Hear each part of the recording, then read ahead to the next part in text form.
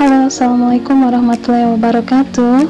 Uh, semangat pagi Bapak Ibu semuanya.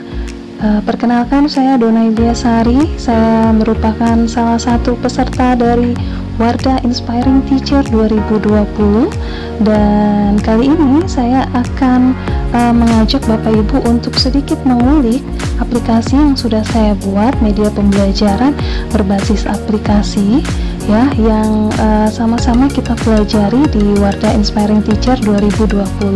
Nah, judulnya adalah GLB ya. Saya akan coba klik. Kemudian kita akan dibawa ke halaman ini ya. Nah, halaman ini adalah halaman home di mana di sini ada judul materi dan merupakan materi kelas berapa. Uh, materi gerak lurus beraturan itu merupakan materi fisika kelas 10 SMA. Kalau kita klik join now ya Nah, kita akan dibawa kepada dua menu ya. Saya kecilkan sedikit volume soundnya. Uh, ini bisa dimatikan ya uh, soundnya.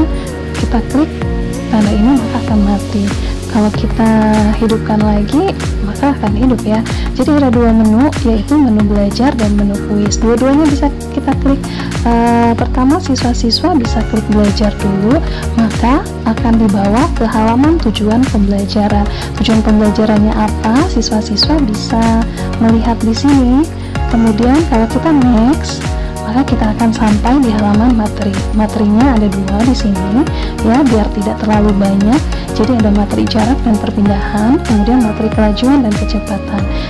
Kemudian ini bisa kita klik juga, kita klik maka akan sampai ke uh, materi jarak dan perpindahan kalau kita next lagi materi kelajuan dan kecepatan kemudian kita bisa simak video juga ya ini video bisa diputar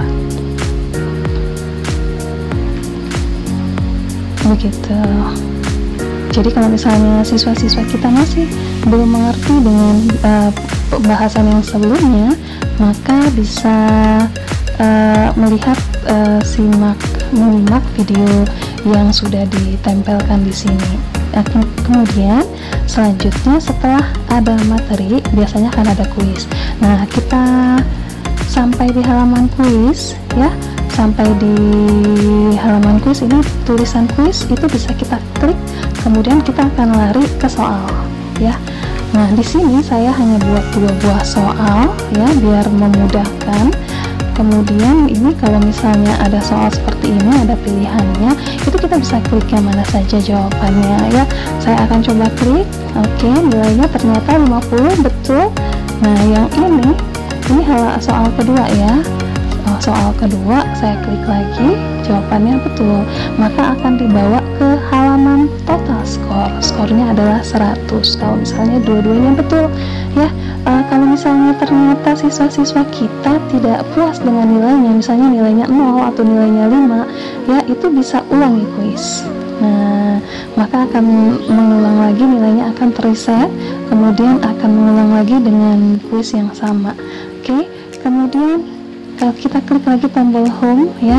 Nah di tombol home ini ada uh, terlihat di ujung sebelah kiri ada tombol i. Tombol i itu adalah informasi untuk pengembang siapa yang sudah membuat aplikasi ini yaitu saya begitu ya. Uh, oke. Okay.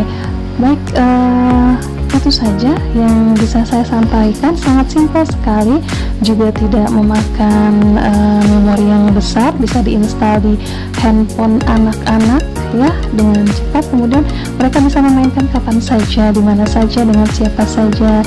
Terima kasih. Saya yakin uh, media ini masih banyak kekurangannya. Jadi saya mohon dengan sangat kritik dan saran yang membangun uh, dari Bapak Ibu semuanya.